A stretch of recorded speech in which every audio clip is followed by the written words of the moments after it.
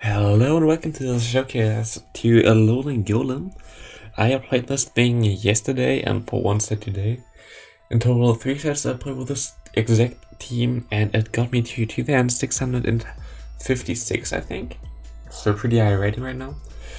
And the team is a Alolan Golem as a lead and my kind of famous backline of Shadow Gallade and Venusaur. A lot of people know that and a lot of people adapted to that. It's also like now one of the famous backline that FB Sticks like to use.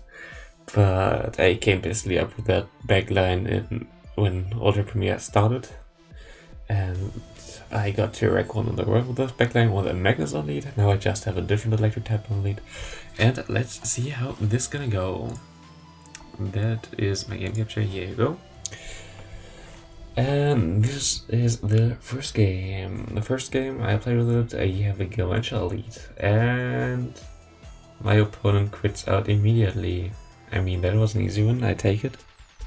Next game, maybe this game gonna be a bit more, a bit longer. We have a point lead, that kind of in neutral lead. What I would do in this situation is throw one wild charge and dip into your Gallade. I throw the wild charge, my opponent does not shield, and oh, quits as well. Nice.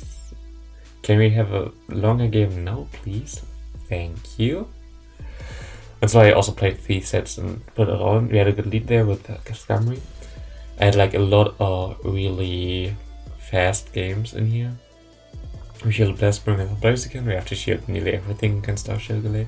We still pressured the Skarmory a lot. I tried to build up to nearly 2, so we get to 2 and we can just farm down. Look at how much down there's stuff to an XL Skarmory. Shadow Gallade is like a monster. And he goes into his Shadow Swampert and quits. I mean, easy first game, but we had like decent leads before, I guess.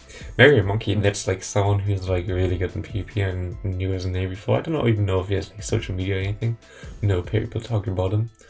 King Lead, that's kind of neutral and actually not that good for us because Dragon Breath still does a lot of damage. Most scenarios like against heavy hitting fast moves, um, Golem in the two shields, just because it's kind of squishy.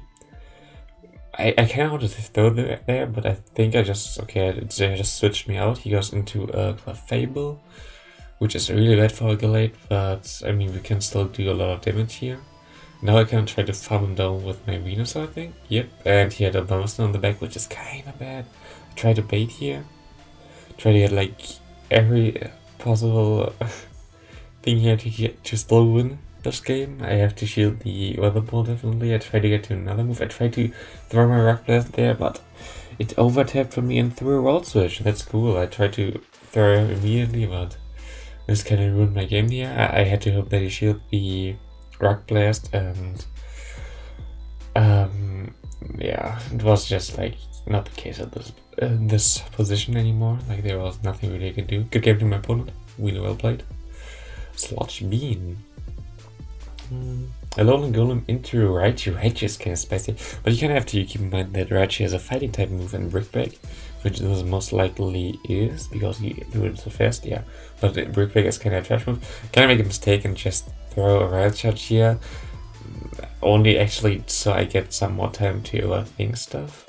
He does not get to move here. It actually helped me out here because I could farm him down before he gets to an energy ball, which is cool. We go for a Leaf Blade. Maybe I shouldn't have baited here. Okay, he shield. Never mind, I should have baited there. It's good.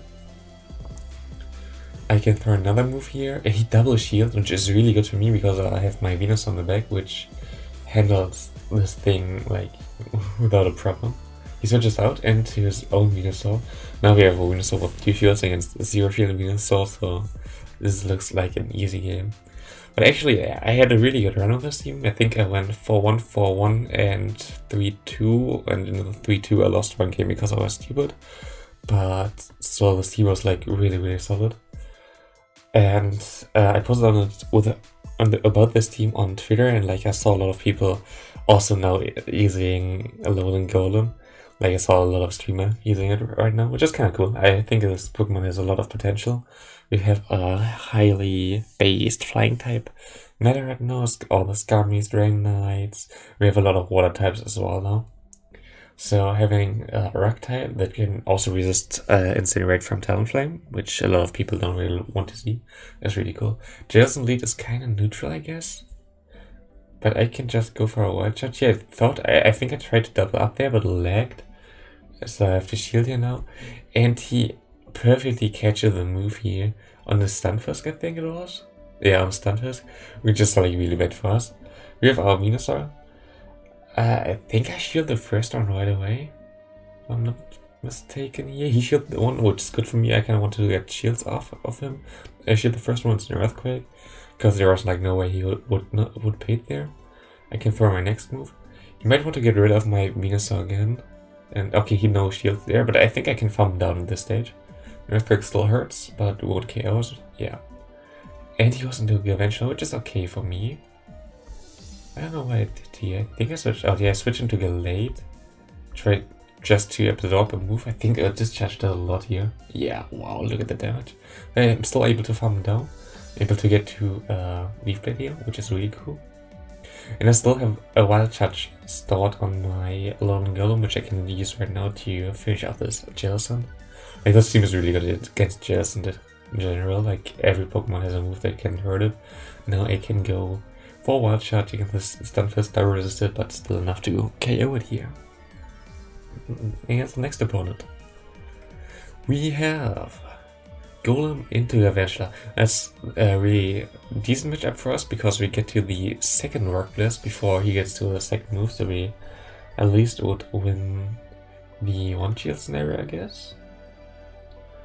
Or the zero shield. With the zero shield, we get to one move before. He gets an extra movement, which is kind of unfortunate, but I mean, happens. And he let, let it go, which is really cool for us.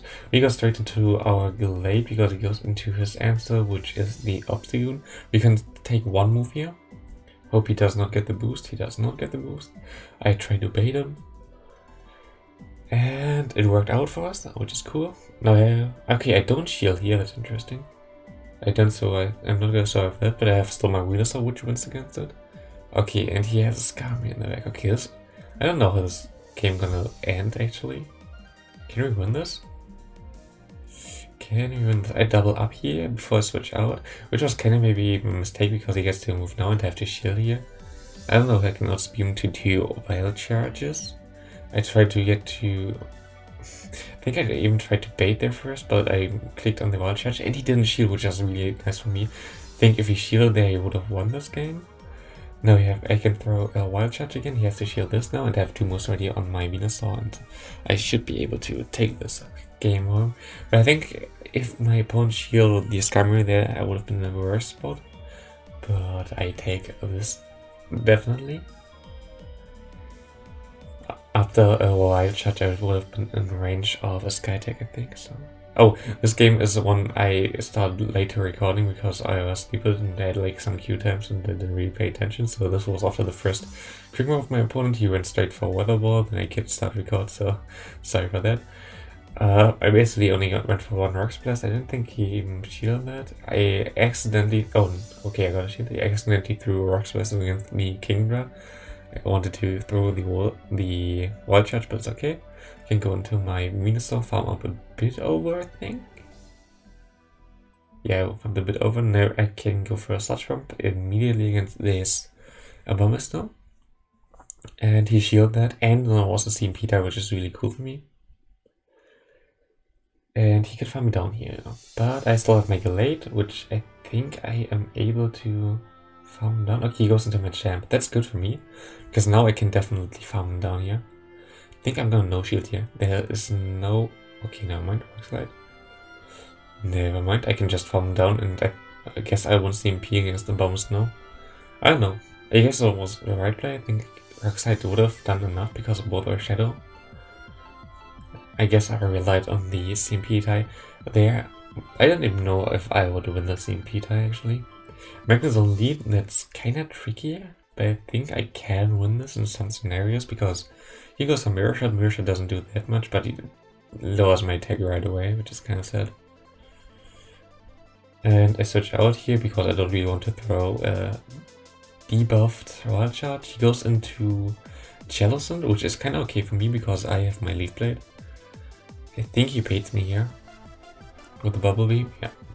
He was at a shadow ball, so I had to shield. Baits me the bubble beam, I can go for another leaf blade.